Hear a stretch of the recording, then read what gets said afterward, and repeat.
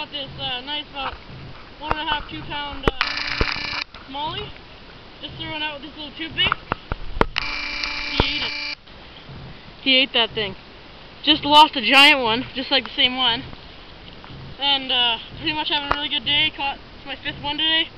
Biggest one today. Oh, I don't want to break the line. Biggest one today.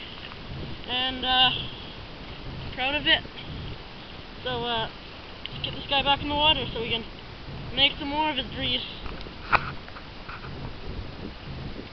Oh, it's a beautiful fish. Oh my god. Yeah, I'm just putting them in.